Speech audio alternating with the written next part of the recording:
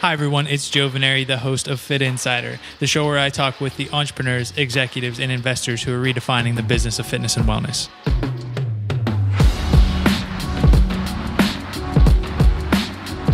Today, I'm joined by Lauren Foundos. Lauren is the founder and CEO of Forte. In today's episode, I talked with Lauren about using content to scale beyond the four walls of a fitness studio, how the company created a turnkey solution for live streaming classes, and the company's plan to go beyond a marketplace and become the technology infrastructure for streaming fitness content. I had a great time chatting with Lauren, and I hope you enjoy listening. Let's get into it. Hi, Lauren. Welcome to Fitt Insider. Thanks for joining us. Hey, how you doing? Doing great. Thanks for making some time to chat today. Yeah, super excited to be here today and chat with you. Awesome. And just to kick things off, can you tell us more about how Forte got started and what the company looks like today? Yeah. So uh, prior to starting Forte, I was uh, institutionally a bond broker on Wall Street. So nothing to do with this uh, space, but very passionate user of the space. I actually live next to Peloton, so sort of saw that idea developing from its early days, and and realized what they were doing. And I thought, wow, this would be great if we could give this to all the studios that exist and have great brands and great communities. And so I started talking to some of the studios that I was pretty close with and asking them if they wanted to stream their classes. Obviously, this is years ago so the enthusiasm level was not as high as it is today but i was you know kind of insistent that i was sure that this was going to happen that, that that they would want to have a digital footprint and you know if even if they had a thousand locations that with streaming a person that had one location could could expand quicker and and you know get a bigger community. And so at the time i used to always use the example from blockbuster. I'm like you know there's blockbuster there used to be blockbuster everywhere but now you don't see any because they didn't digitalize their business. So i used to kind of tell that story to studios to get them excited. And, and now fortunately you know obviously uh, studios get it which is which is exciting. So before i knew it a couple of the studios were excited about the idea and asked you know when we would get started. And so at that point i had a job and i really had no idea how to get started on what i had sort of uh, described but i knew that this was coming and i was certain that that this was going to happen and i didn't want to tell a story that i had this idea that i didn't invent the company about so from that moment on, I decided to set sail and to uh, get going and try to build this company that I was imagining to be able to empower studios to stream. Yeah, that's incredible. And I think there's a lot that we or somebody who is in the industry might gloss over. But when you say, you know, you saw this happening and you knew it was moving to the digital space and almost the the blockbuster to Netflix evolution, what were those conversations like going in and talking to studio owners who are very much focused on, you know, how do we make sure that people are there in the classes, program a great experience, make sure the yeah. the user enjoys it, and then you're coming in and telling them, listen, this is all going to start to shift. Um, how did that conversation initially start to take shape? yeah, people were definitely super reluctant. You know, I think there was a lot of different ideas, but some of the common threads were also down to people will copy what they're doing people will um, you know that was the main concern that people would copy what was going on. And i guess my my argument was always if you do something in these four walls and nobody knows what you're doing, only the 25 people that are currently coming here are going to know what goes on in here. I'm like, if somebody does leave and copy your idea somewhere else and and stream and broadcast it, then they're going to be the owner of that great idea, which was ultimately yours. So I think now, obviously, you know, with social media and, and you kind of need to put your content out there. So the world is is changing. But then the main concern really was was content being stolen and also cannibalizing their business, which I think if you, you know, when I used to go to Peloton in the early days, it was pretty much me and the instructor in the 5 a.m. And now every time I go, I get turned away because the classes are full. So I think that's a case where obviously, you know, people are curious what's going on in there. People want to go. The home riders want to go. People in the city want to go. So I think you know, it's like football. It's like football's on TV. It's like people don't not go to the game because they can watch it on TV. They are more excited to go to the game. If anything, it you know it, it drives people into the studio for maybe the one or two that it would displace. But I think nothing's going to replace an in studio and experience. So those were the main concerns. And I think we're also proving now that, you know, and my brother was actually a great example of this, but he, you know, thought studios were girly, kind of didn't take the classes, started streaming on Forte because obviously he's my beloved brother. And mm-hmm. now he goes to studio classes and he loves them, but he would have never stepped foot in them otherwise. So the main concerns were those two things, which, you know, thankfully we've been able to prove that they you know that, that they're not that they're kind of false and also it this is a big revenue source can be a, a monstrosity of a revenue source for them as opposed to expanding necessarily all through brick and mortar yeah it absolutely makes sense and i think is kind of you know, obviously proven itself out over time. When you talk about going in and, you know, convincing the studio owners and having that conversation and it kind of bearing out, what does the actual implementation look like? So now they've they've agreed to do it and yep. you say, "Okay, great. What does that process look like from there?" yeah so what kind of gets lost in our business model or our differentiator is really this technology that we spent over two years developing before we did anything else so what we basically do is we hardwire three to five cameras in the studio walls we put a server there on site and then when the instructor begins teaching a class at say 12 o'clock and plugs their phone in to put their Spotify playlist on, the automation would turn on all five cameras, rotate around for that specific class at that time, and then shut itself off at the end of class. So that automation that we've developed, we call our Autobot, runs from coast to coast all day, every day, live producing classes with no human operators. And so, in order for a studio to set that up, basically, we have a tech server that we, that we require from them. So that ways we can integrate into their current AV setup. Initially, we thought we'd build our own setup, but then it required them having to do different things when they streamed, which which was default, you know, was ultimately ending up with with bad streams because they weren't remembering the processes correctly. So they we integrate into exactly what their situation is. Nothing will be different on their end. The instructors can you know blare the music in the studio and do all the things that they want in the studio to keep the experience authentic, and they can't blow out the stream or mess up the stream. Um, so yeah, it took a long time to be able to test this technology. When you live stream, you know you require a certain amount of bandwidth up and down, um, and when you start trying to increase the bandwidth, Verizon or whoever the you know a provider is starts to really charge you a lot once you start upping the bandwidth. So obviously, if if studios had to pay thousands of dollars a month just for the internet, that would be you know a barrier to entry. So we really had to shimmy around and figure out you know how to make this work at a cost that we thought the quality was still extremely high but the um, you know ease for the studio was was pretty much eradicated.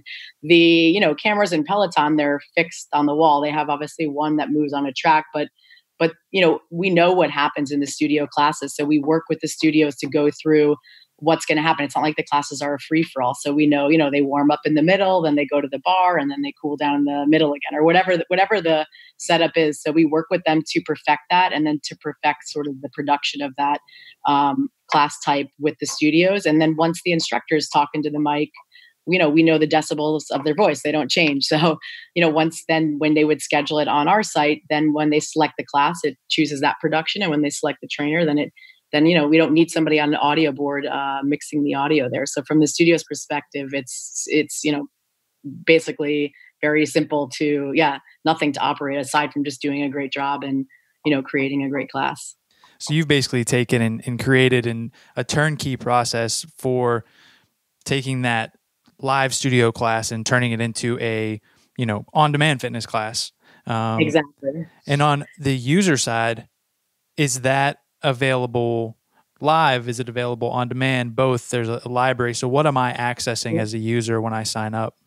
Yeah, so everything's streamed live and then available on demand seconds thereafter. If you reserve a spot for an upcoming live class, the instructor then knows you're taking it and will cheer you on. Uh, we just completed the integration of wearables. So uh, all wearables will sync to the platform and then you can obviously track yourself in real time and uh, compete on our live leaderboard. So you know and ultimately the goal is to continue to make it as you know interactive as possible. And and once the you know studios have the tech set up they're creating great content every day. We advise them to stream the content that they're, that they're creating. But of course they can use the technology to stream however they see fit I think what's been um, really fun for us is that we realize that users actually don't like to watch a class a second time. So even if they don't catch it on a live stream, they want to go home and know that you know today's a different day and there's maybe different people in the class or you know the instructors telling the story about their apartment move or whatever they're talking about so i thought that was super interesting now that our users have been exposed to not having to watch you know one video over and over again, they would never go back to doing that, which I thought was a really important feature of the live that maybe the stats are still, you know, kind of catching up to showing why it's so important. And do you think it's how is that resonating differently than you kind of touched on it there a little bit? Watching, you know, previously you'd go and pop in a tape or a DVD or even if you were accessing online that class one time, but now they're getting this connection to the the certainly the studio, the instructor, even potentially people in the class. Yep. How does that kind of form the the community that is so important to fitness? People talk about their tribe and it resonates with them so much and it encourages them to work out. There's some concern that when you go to the streaming or on demand at home, you don't have that same community element. How have you seen that take shape? Yeah so i think it's important to see sort of yeah to to watch the trainers in their you know as they would teach the class right? I think you know they're talking about their lives and and kind of weaving in little stories here and there and that's developing each day as their lives are developing. So i think that's the element that a traditional workout video sort of doesn't have and like you said too the same people will be in the class and stuff like that. So you, you actually feel a part of the class. You know if you watch some studios that do produced videos and you went to take their class, you would realize their class is quite a bit different than those videos. But I think with us, it's like, you know, if you watch it every day, you know exactly where the mats are. If you walked into the studio, you would know where the mats are. You would know where, where you wanted to stand in the studio as if you'd been there every day. So I think that's, you know, what's really exciting. It's giving you the ability to actually take those classes. Um, and I, I think the other thing that Peloton's really really opened up the world to is you know the fact that it is a real studio and a place that you can go to. So and we've seen the same thing of people come to new york and they want to go meet all the instructors and are so excited to see them you know as opposed to kind of the old days they were filmed in a recording studio and you can't you know find jillian michaels and you know go see her on tuesday morning you know like you can a peloton instructor if that you watched every day. So i do think that's another element that's that's super exciting for people to be able to yeah make the mecca to the studio ultimately and yeah see them in person. And i think that's really where that sort of you know sense of commitment comes from with with that with that aspect. Yeah i think that's something that you know at least for me even it wasn't something that i took into consideration. The thought that by streaming these classes and meeting these people and developing a relationship with them that it would encourage me to you know seek them out or if i was there provided the opportunity uh, to go meet them. Uh, it's something that was echoed in a conversation.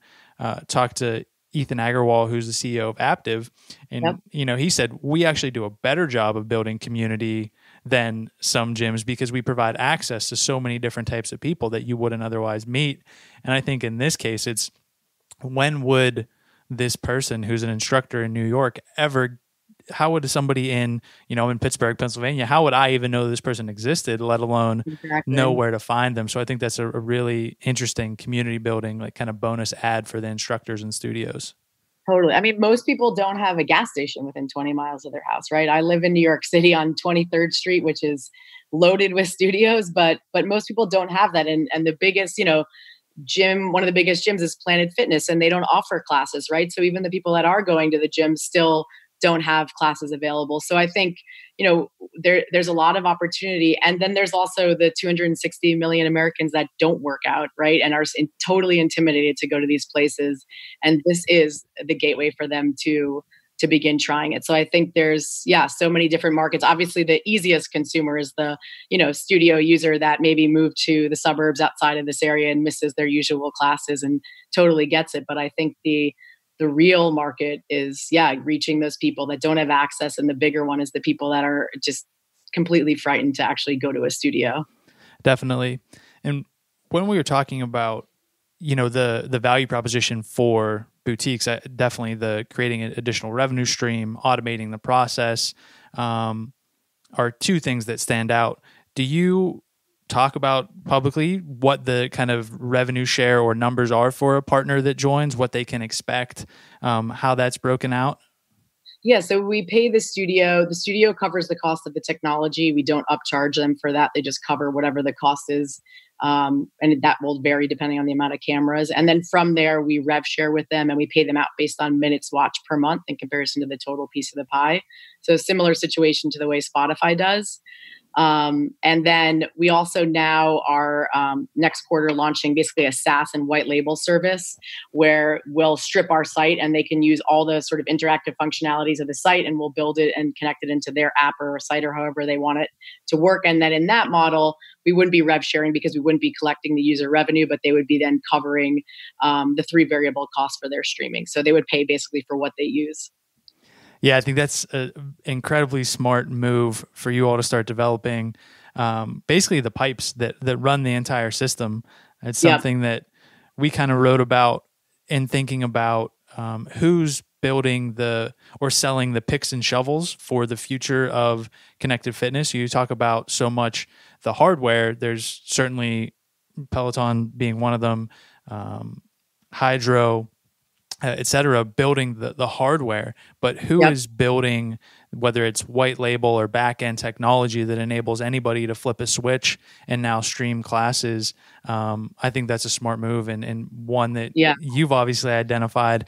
What was the kind of how did that come to fruition? Was it a demand thing? Was it an opportunity that you saw and kind of pushed?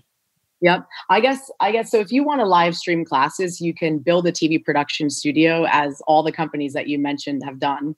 And I think that's obviously, you know, Peloton's whole business model is the home user, right?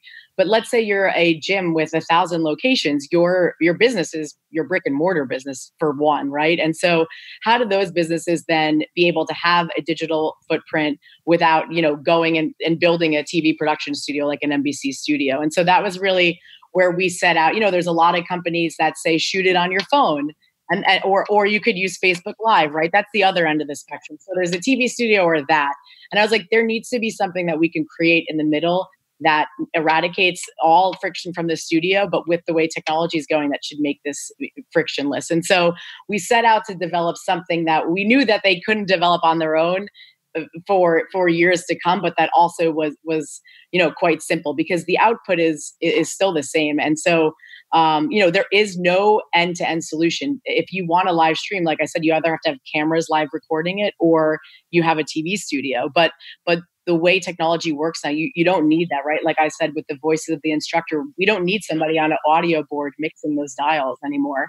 And so um, yeah, automating this process for them was important for us, and, and then just leaving up to them the content creation, which is what they, which is what they do. And we currently have no competition from that um, sort of turnkey technology. So you can you can stream live videos on many companies, right? You can use UStream, LiveStream. There's a million Vimeo, right? You can use all those, but you still have to figure out how to ingest the content and shoot it, and that's where that those companies don't solve that problem. So that's what we set out to do. And now there's you have the the kind of marketplace where people can log in and have their selection of classes. You yep. are you know obviously onboarding different studios to that uh, the other side of that marketplace as well and now you're talking about the technology solution um, with the kind of now three prongs to the the company yep. from where you started initially in the vision for hey i think this there's change coming to the industry yep. uh, to now where things are today, how is it the same and different? Did you imagine that, or could you have imagined that it would have taken this shape? Um, and what has that journey been like? Yeah, so I think I think that from our perspective, what we sort of realized was the bigger companies want to stream their own classes to their own people, and they don't want to be a part of a marketplace. And so for us to leave that business you know aside while we have the technology and they're seeking out a solution to do this it just felt like we were really missing that opportunity. So that's sort of how we got to doing that. The other side of the equation is in the marketplace we realized if we had a thousand yoga studios that the user wouldn't know which yoga studio to watch. And so from the marketplace perspective we wanted it to be curated and because of the demand for streaming, we have all these studios that we were saying no to. And so that was sort, sort of how it became really evident to offer this white label solution. I do believe still wholeheartedly, though, from the user perspective, they do want Netflix, right? They want one thing with everything in it. The studios, on the other hand, would prefer to have things in their own site. And so for us, we decided to stop fighting that belief and to sort of you know uh, fuel both business models for us because i think the big brands like i said they want their own product. And, and so so that's what we'll give them because they're still looking for a solution to power it and, and we have that answer. So that's sort of how we got to this to this approach. And i think from the user though you know it's you know the the you know you move around right? You do bar you go crazy spinning then you go crazy boxing and you kind of move around. So in a marketplace those studios could share that user as they go through that journey which is very typical for a fitness person to move along with the trends or just you know discover new things and get really into them. So i do believe that they would share users and all benefit from that but i do understand the logic of you know these bigger brands wanting their own product as well. Right and that's where you kind of see looking at the landscape initially obviously it was Peloton who kind of upended the category, folks following their lead in terms of hardware, a variety of audio only classes and platforms. Now yep. you have players like uh, a few months back, Equinox announced that they're going to get into the space with this kind of Project X that doesn't really have a name quite yet. Um, yep. How do you think about Forte in that broader landscape? You know, obviously, a lot of the headlines are the the Netflix of fitness, the end of the gym, everything yep. is you know coming to an end. Oh, actually, no, we're on, we're only just getting started. Um, yep. How do you think about that, and how do you talk to your whether it's your team or your customers um, or potentially even investors about what's going to happen as things shake out? Yeah, I think uh, so. I see our our current product really as something you use at home, but also at the gym. You know, people are moseying around at the gym and you know trying to remember what to do or just using the weight machine. So I also see it as a means to you know using that in a hotel gym, a residential building gym, and a traditional gym. So I don't think it, it, I don't think it, people are being eradicated from the home. Obviously, you could totally do body weight workouts, but most people aren't going to have all that connected fitness equipment at their house, depending on where they live or what their income is. So I see the gym is still a relevant point to to using these great streaming tools. And many gyms are also then building these streaming rooms, right, where it's a great experience to stream and it has all the tools and you can have these classes and stuff like that. So I think from that perspective, it's going there. The other, um, like, very obvious angle is for the equipment manufacturers to get on board and to have the classes, you know, on their treadmills and stuff like that. They don't need to go build a running studio. There's plenty of great running studios, but they should have that content on their dashboards as opposed to, you know, just watching the dot light up around the track. So I think connecting those um, two ends of the spectrum is really an important thing for us as well. Um, and then I think, you know, I think people still are going to go to the gym. People like to be connected to the community. I think having that touch point is still super, super important. But but then again, there's people that just don't have access to this. So um, and and they won't get that for a while. And I think it's really important that with technology, you know, we can we can bring that to them and, and help the brands, you know, build their following. And I think that's going to be you know exciting for the brands too as the brick and mortar space gets you know super super competitive and you know, uh, as things are evolving with ClassPass and the cost of all these places, and you know, there's been a lot of evolution since since all this, you know, has been going on the last couple of years as well. And I think ClassPass did a great service proving that people love going to studios by making it affordable to people that it maybe wasn't affordable to. And so maybe to that market, then streaming is the solution for the people that aren't willing to pay 40 or, you know, 30, in some cases, almost up to 50 now dollars a class. And with the various, when you talk about the different prongs of the business, with the technology component, serving the boutiques and studios, serving the consumers, what is the makeup of the team at this point? How big are you guys? How does it break out across departments? Yeah, we're predominantly uh, engineers because because we're building a pretty technical product. So the majority of our team is engineers, and then we have you know a COO, CFO, and myself on the business side, and the rest of the team is actually all engineers. So our goal was really to build this, yeah, technology that that we saw the market needing. And, and when we first entered the market, you know, we were slightly early. People were not super excited about streaming. They kind of knew what Peloton was doing. They had heard about it. You know, they they they just weren't that excited about it. But I think now it's like, you know, you need to have a good Instagram, you need to have a good website, and you need to have content. And a lot of the kind of uh, bigger brands or forward thinking brands have on demand video. But what we're seeing is, you know, now that people see Peloton, right, they want to have that same experience. And and the on-demand video is also pretty costly when they shoot these videos every quarter or every month, depending on how the studio does it. And what we've seen from some of the data points we've studied is that the users want more content more frequently. But for the studio that's shooting it, it's super expensive. And so that's where then live streaming becomes an obvious next step as well, aside from the fact, obviously, it's more interactive and engaging. And, you know, you could follow the stories and feel a, more a part of the community. So the market as, you know, at first uh, on demand video was where a bunch of them went to but now i think everyone sort of gets it and so we feel like we're in a position in a really great place right now to yeah capitalize on the excitement around the streaming and yeah, to be able to basically be the arms dealer for all these studios to to get their brands out there and to do this. Right. I think it makes sense. And that's the thing that, you know, folks tend to overlook. There's there can be a lot of hype in the system when you talk about, you know, what's the progress, the user numbers, the funding rounds, and who's grabbing the headlines. Meanwhile, you're quietly executing behind the scenes and telling this story and preparing for this shift as it's starting to happen. And now, you know, people are almost starting to catch up with you And as they do, you're able to say, hey, we have that turnkey option that's ready to implement and now in a variety of formats um, that can capitalize on this trend. Exactly. So we're going after even just traditional gyms too, we're talking to. So any of these guys that want to digitalize, obviously, yeah, the gym market is the one we understand well. And, you know, because we're not streaming out of a uh, production studio like a Peloton with no windows, very controlled environment. Took a long time to be able to combat all these things and automate this process to work really well. And and so yeah, all just even you know initially we were more studio focused, but now traditional gyms are in play. Equipment manufacturers that want to stream classes from you know their facilities as well to their equipment and and obviously traditional studios.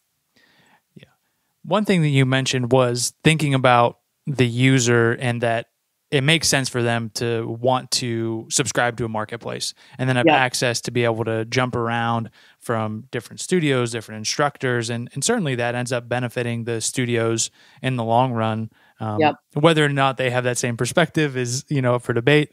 Um, but how do you think about user acquisition at this point and you know having folks join the platform, marketing to them, um, conveying the the value proposition, but then maintaining that retention. Um, given that this is and has been such a technology engineer heavy endeavor to this point, as you yep. start to think about what that user side looks like, have you thought about what growing that looks like and what piece of that falls to you versus what falls to the studios to help get people on there and, and what that will look like going forward?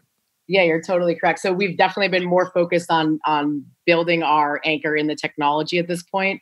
Our users have come 60% organically, so through word of mouth or people that are, you know, go to the studio, and then 40% through kind of codes associated with our studio partners.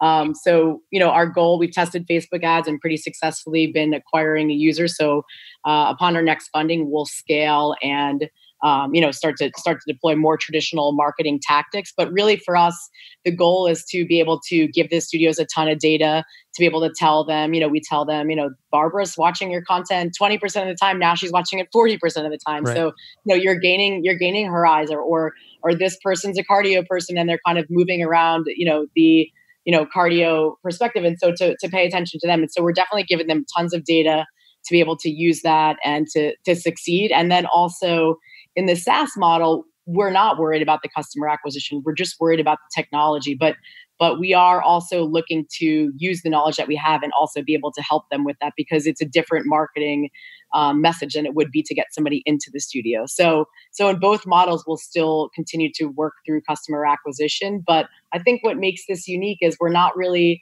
um, marketing a new product, right? So the studios exist, they have communities, they have thousands of people that go to them, they have 50 people that are in the classes.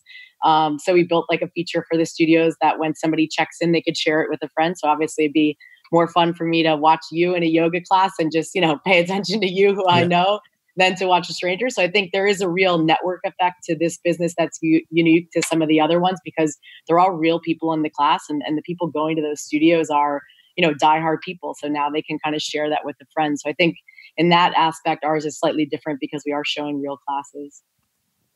Yeah it makes sense and that that'll be exciting to see is you know the user side and the marketing and the acquisition starts to take up. But also as we mentioned it's not wholly dependent on that which i think is also a smart um, move on your part to be able to to have this diversified product offering um, yeah. When you the consumer, yeah, the consumer is an expensive uh, game now, and there's a lot of people kind of getting into it. So for us, that's sort of how we, yeah, the SaaS model was really a great next step for us because our competition is zero, our demand is hundred percent, and um, you know the the customer acquisition game is then on on the client to do that.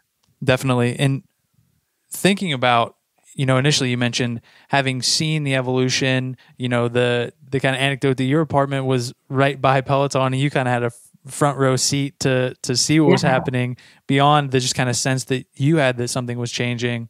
Um, thinking about the kind of pushback that you got from in the beginning, uh, assuming that you did from yep. whether that was the user or the studio owner and potentially even investors about the industry and changes that were happening.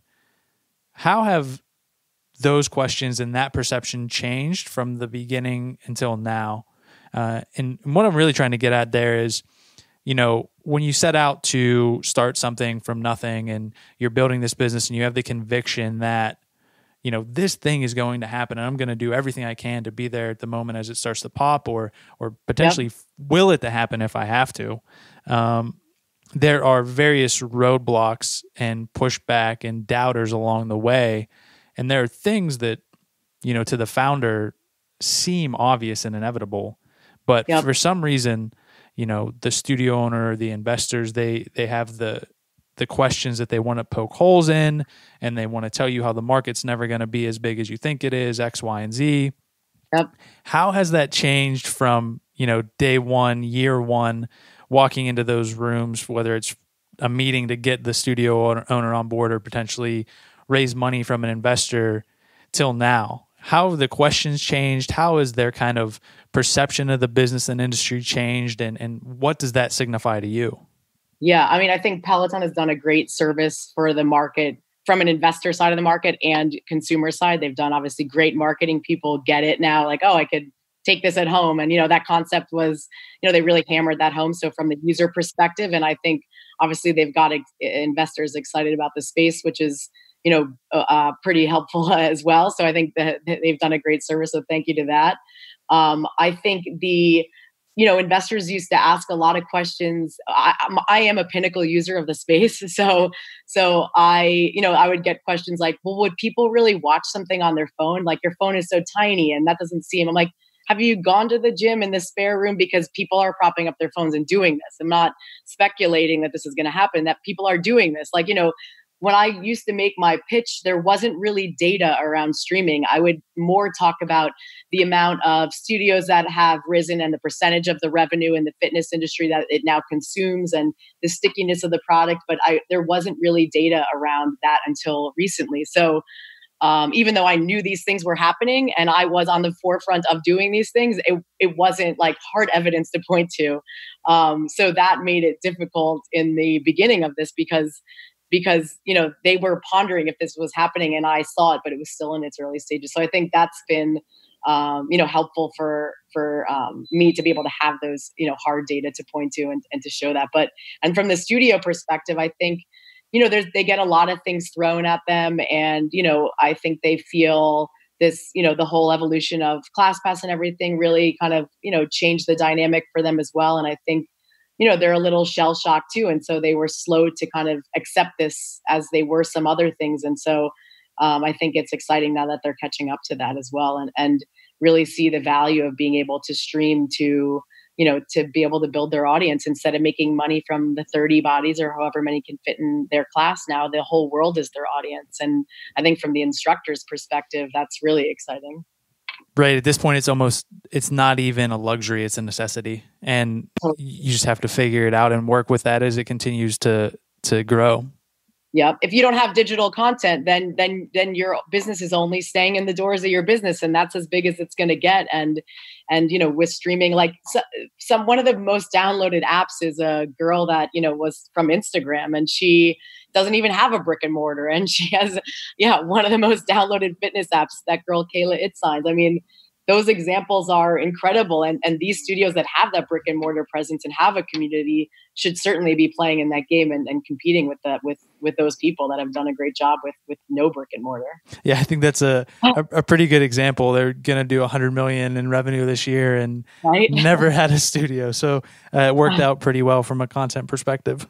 Exactly exactly. And i think like I, I think that's amazing. And and you know, now they're demanding to actually, they have her, she was at Madison Square Garden. I yeah. mean, now they're demanding to see her. So I think that's the reverse. And obviously she was early into the game and good timing and stuff. But from these studios perspective, they have all the other tools, right? They have the facilities to, you know, showcase the people. And that's where I think that, you know, that they're seeing that now. And so that's been super exciting. And from the, like I said, from the trainer's perspective, it's a, I mean, you know, instead of just being limited to 20 people, they have the opportunity to speak to the whole world. So I think that's really empowering for them as well. And the the good talent wants to be at places that are bringing those opportunities. Absolutely.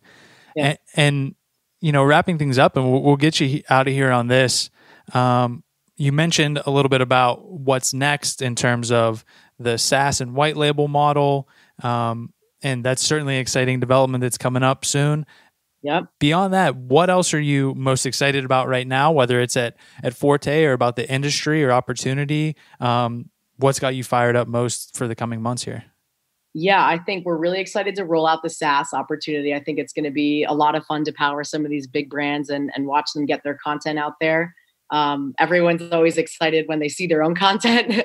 so you know, it's it's it's it's super exciting to get that going for us. Obviously, from a business perspective, it's the same deployment and process that we're doing. So we feel pretty confident we'll be able to roll that out quickly. Um, we're also really excited to do some work with some of the equipment manufacturers and get get content streaming on there as well, um, as that's such an obvious next progression. And yeah i'm really excited to to watch the market start to take up live streaming. I think like i said on demand video has been accepted and a, a bunch of them have that offering but but live is where the user is going to demand as they start to be exposed to that experience which is superior than than on demand it'd be like you know texting on an old cell phone that you had to type on the letter a bunch of times to get the letter to show up you know that would seem crazy to do nowadays. And so i think on demand video is going to feel the same way soon and excited to watch that uh, uptick happen in the market. Yeah a lot of exciting stuff happening a lot to look forward to. And with that i'm just grateful that you took the time today and the, the conversation was great and i think will provide a ton of value for listeners. So you know thanks for Thank joining you. us and we're, we're excited to watch FORTË continue to grow Thank you so much. I appreciate it. Awesome. Thanks. Thanks everyone for listening to today's episode. For more from Fitt Insider, visit insider.fitt.co and subscribe to our weekly newsletter for insights and analysis on the business of fitness and wellness. Then, go ahead and subscribe, rate, and review the podcast. See you next time.